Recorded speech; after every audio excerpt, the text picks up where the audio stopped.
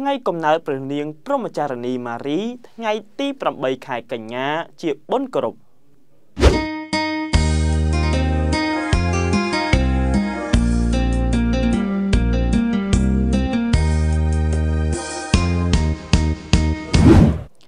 ព្រះសហគមន៍កាតូលិកតែងតែរំលឹកថ្ងៃកំណើតរបស់ព្រះនាងព្រហ្មចារណីម៉ារី នៅថ្ងៃទី8ខែកញ្ញាពោគឺ9ខែបន្ទាប់ ពីថ្ងៃបុណ្យគោរពព្រះនាងព្រហ្មចារណីម៉ារីមិនជំពាក់បាប ដោយចាប់ផ្ទៃជាកូនរបស់សន្តិហាណា និងសន្តយុហាគីមការប្រសូតរបស់ព្រះនាងព្រហ្មចារណីម៉ារីមិនត្រូវបានកត់ត្រានៅក្នុងគម្ពីរទេប៉ុន្តែតាមរយៈឯកសារមួយចំនួន និងការបញ្ជូនបន្ត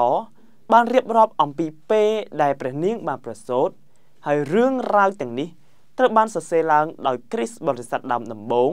ក្នុងដើមសតវត្សទី1នៃព្រះសហគមន៍ទោះបីជាមិនត្រូវបានទទួលស្គាល់ជាព្រះគម្ពីរក៏ដោយសិភៅរបស់លោកយ៉ាកុបដែលបានសរសេរនៅដើមសតវត្សទី2បាននិយាយអំពីឪពុករបស់នាងម៉ារីថា ជាសមាជិកអ្នកមានម្នាក់ក្នុងគោលសម្ព័ន្ធ12នៃអ៊ីស្រាអែលលោកយូហាគីមមានភាពសោកសៅជាខ្លាំង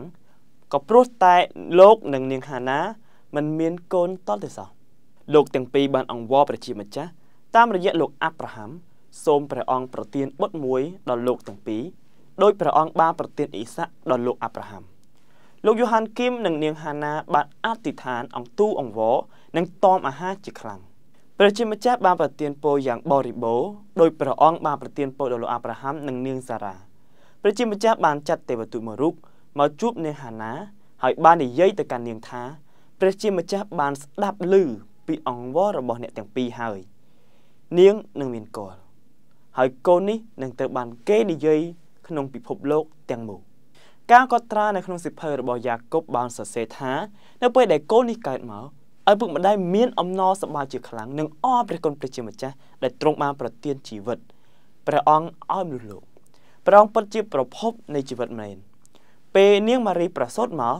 ឪពុកម្ដាយរបស់នាងបានសង់ទីសក្ការៈមួយនៅក្នុងបន្ទប់របស់នាងហើយមិនអនុញ្ញាត ឲ្យយកអ្វីដែលមិនបរិសុទ្ធចូលទៅក្នុងបន្ទប់របស់នាងឡើយលោកយូហាគីមបាននាំនាងម៉ារី ទៅជួបលោកបូជាចាជាច្រើនដើម្បីសុំប្រទានពរដល់នាងរីឯព្រះសហគមន៍វិញព្រះសហគមន៍មានអំណរ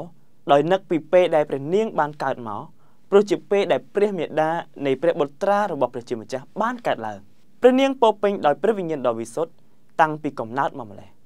ព្រះសហគមន៍បានសន្មត់យកថ្ងៃនេះ ធ្វើជាថ្ងៃនឹកដល់ព្រះនាងម៉ារីកើតមកព្រោះជាថ្ងៃខួបបុណ្យឆ្លងព្រះវិហារដែលបានសង់ឡើងនៅកន្លែងដែលគេសន្មត់ថា ជាផ្ទះរបស់សន្តិហាណា